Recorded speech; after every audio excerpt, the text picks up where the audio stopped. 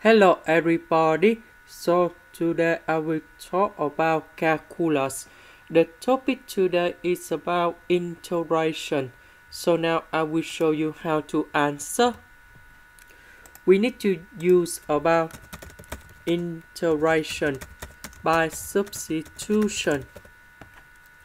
So I will put about u equals to the square root of x minus 1 we put the square for the both sides to cancel about the square root. Later that we put negative number 1 go to the left. Because we still have x, that's why we need to do about this way. Next, we do first the derivative for the both sides. We have to u equals to the s. First the derivative of u square you go about to u the square root we change by u. S we change by this one. The s we change by this one.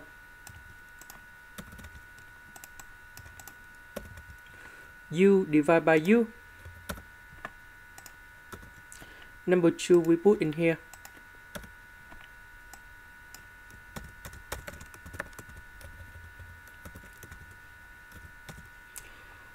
The the integration of u square, we have u to the power of 3 over 3.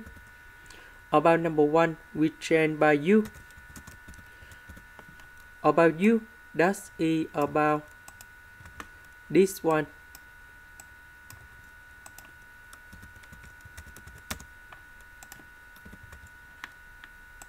This is the end. Thank you for watching.